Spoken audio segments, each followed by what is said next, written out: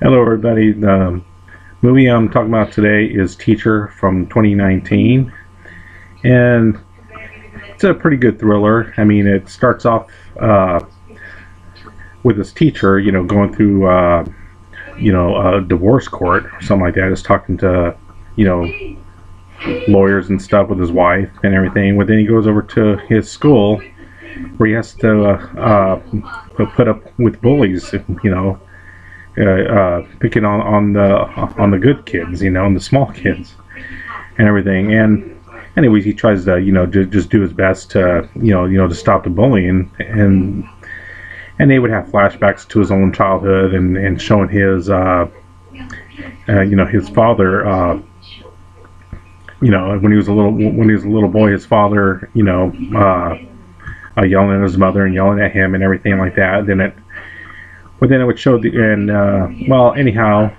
it would show the the bullies on here. It shows that you know shows that the reason why they're acting the way they're acting is because the you know because the, the way that their parents uh, treat treat them you know the, the way they're you know I mean this one kid you know his his dad was a really you know awful awful guy an awful jerk and treated mistreated his kid and his wife and that's that's and it kind of rubbed off on him. And, then and the and the twist is is that you find out that the reason why the uh, the teacher went to divorce court is because his wife is actually divorcing him for being a bully. Because it turns out that you know because when he was little you know his dad treat, you know like I said treated him and his mom not so good and it rubbed off on him. So that was a twist right there. So it's kind of like you know you know you learn something there that you know that,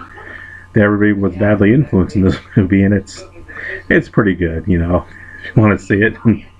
And there well thanks. So see you next time